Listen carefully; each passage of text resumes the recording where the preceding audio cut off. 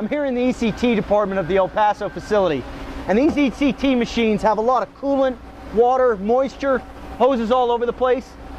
Leviton WetGuard is the perfect solution for these types of electrical connections. I'm going to show you how to wire up the plug and the connector right now. Let's get started. Find the appropriate breaker and turn the power off. So I've gone ahead and separated my nut, my rubber housing, and my wiring module, and selected my strain relief washer and my rubber bushing based on the size of my cord and the number of conductors it has. Now you can find this table on the instruction sheet. In order to ensure the integrity of the plug, it's important that each individual piece goes on in the correct order. First, the nut. You want to make sure that the threads are facing towards the end of the cord. Next, the strain relief washer. Here, you want to make sure that the circular piece is facing towards the end of the cord. Just like that.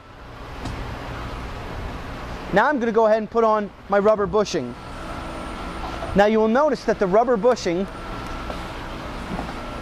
one side is smaller than the other.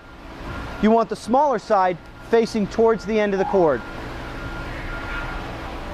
Next, you want to make sure that you've stripped about an inch off the end of your cord so that each of your leads is one inch long. And you know this looks about right. Then, you want to make sure that each of your wire leads is stripped about a half inch. So that looks good, that looks good. I'm gonna go ahead and take a little off my green.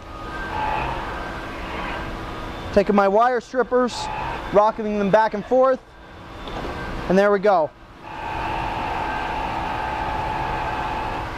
Now we're ready to put the rubber housing on and wire the device. The rubber housing and wiring module actually have a key guide that allows the two to, to line up perfectly. The rubber housing has this notch and the wiring module has this groove and they simply fit together just like that. Now taking my Phillips head screwdriver, I'm just finishing tightening the screws in my wire module to my rubber housing. Next, I'm going to slide up my rubber bushing up into the rubber housing, move my strain relief washer up to the rubber bushing, and push my nut and tighten it clockwise on the threads. Nice and tight, watertight. The connector is the exact same as the plug. The only difference is that after you put your nut, strain relief washer, and your rubber bushing, you want to go ahead and put your cap on, then your rubber housing, then you go ahead and connect your cord to your wiring module, and that's it. Let's restore the power.